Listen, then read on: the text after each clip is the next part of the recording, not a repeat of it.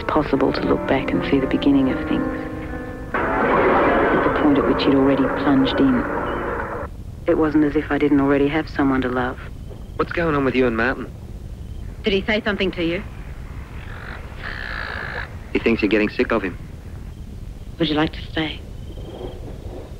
We slept together three nights in a row. Three nights in a row was enough to make it too late. I think I already knew this one was going to be trouble. I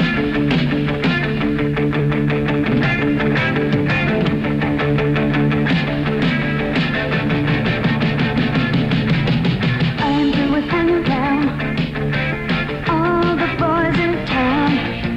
Now I want a man around. What's that? You worried about our living in the same house? I just want it quite clear that we're not moving into this house as a couple.